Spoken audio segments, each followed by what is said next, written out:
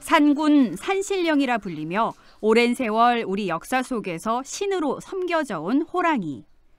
은산 별신제에 사용했던 산신도를 비롯해 삼재를 막기 위해 만든 부적판에도 기운 넘치는 호랑이의 모습이 새겨져 있습니다. 사인 참사금은 인년, 인월, 인일, 인시, 인이라는 글자가 네 번 겹쳐지는 시간에 만들어지는 우리나라의 신검으로 말을 물리치는 검인 참사금 중 으뜸으로 여겼다.